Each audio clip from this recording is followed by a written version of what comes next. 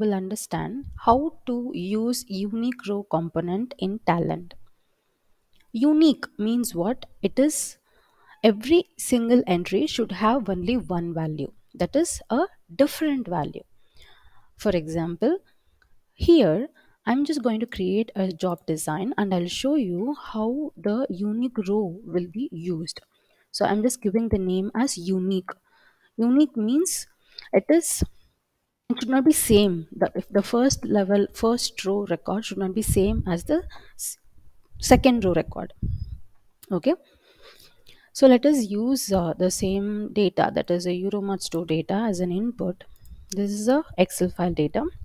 I'm just going to connect with the unique row. Okay? Okay before connecting with the unique row let us see what are the data which we have in this file using a log row component.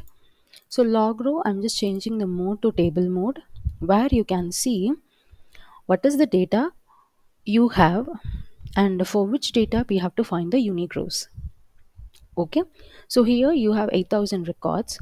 So it is showing up that you have various data. Obviously order id will be unique.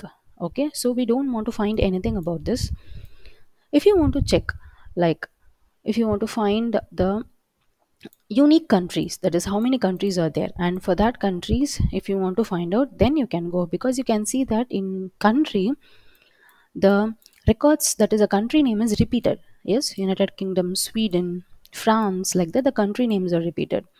And even in state you can see that it is repeated. Okay so if you want to find the unique countries that is a number of countries which are there in the uh, in this data set then you can go ahead with the unique rows. Okay basically unique rows is used to find to avoid the duplicates and to get the data as a unique data. Okay so as of now i'll just show you how to use unique rows with country. Let us delete this log row and connect this euromart store to the unique row which is available in the data quality okay? Double click on that. Double click on the unique row.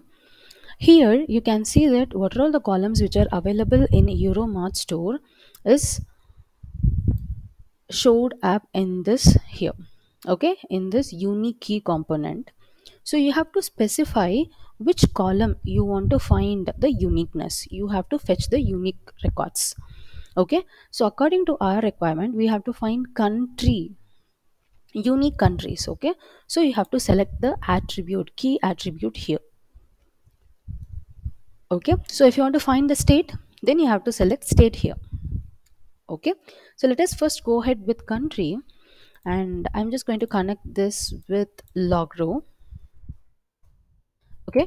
So let's see how many countries are there in our record in our data set so the job is started from euromart store to unique row 8000 records will be passed okay? From 8047 records we have 15 countries okay?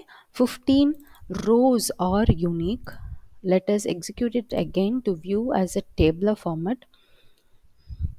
So you can see here that from euromart store we have in euromart store we have nearly 15 countries okay? You can see here okay.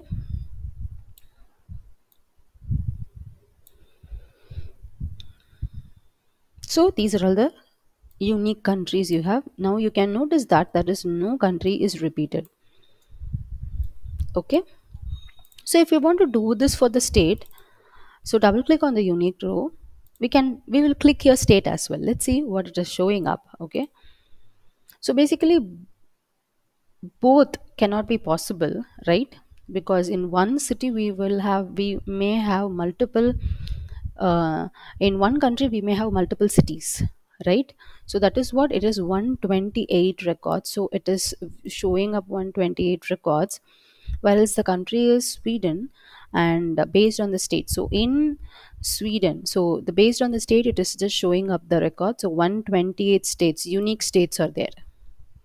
Okay if you see the states there will not be any repeat repetition okay?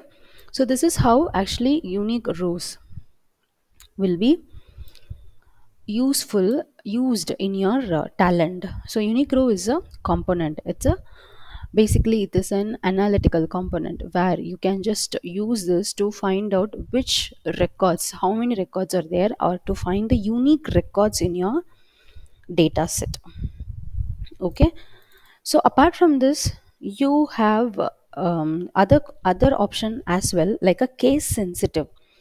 If you feel like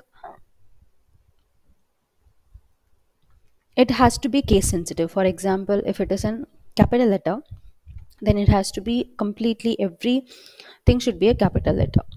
Okay so it will find out the first uniqueness okay? So if if it finds the first country for example if the first country is sweden and again if it finds sweden it will not consider the second record okay? And the third record is united kingdom and the fourth record is also united kingdom in the sense it will not consider the fourth record for the united kingdom entry. So this is how basically the unique rows will work out okay? And even after this okay you can also connect with any other components. Let us have only country okay? And if you see with the country you have only 15 uh, rows. Okay? So that 15 rows will be showed up here. So i just want the country with um sweden. Okay? Okay? I just want the country with the sweden. So what i'll do is i can use a filter. Filter component here. Okay? Connect here with the filter processing. Double click and give the input as country equals. And inside double quotes you have to give sweden. Okay? So inside country i'm sorry inside the country you have to give sweden. Okay? So use sweden within the double quotes okay? And then connect it with the log row. Let's see here now what it's showing up. It has to show only one record because there is one record after using the unique row component. Okay only one record is here. You can see that only one record which is sweden. Okay so i'll show you what error it will display okay? If you are if you are not using this double quotes because since the country is a string data type okay? The country column is holding the string data type. So what it will happen it shows that at least job unique has compiled errors. Please fix it and export it again. So that is the problem because uh, in if you are connected with the multiple components okay fine it will show up where the error is. You can simply click on the error. And it is showing that error in the component property sweden cannot be resolved to a variable because it is it is a string variable right? But what we have given is we have given as a value here. So that is why it is showing up the error. So give here sweden now if you execute it will work.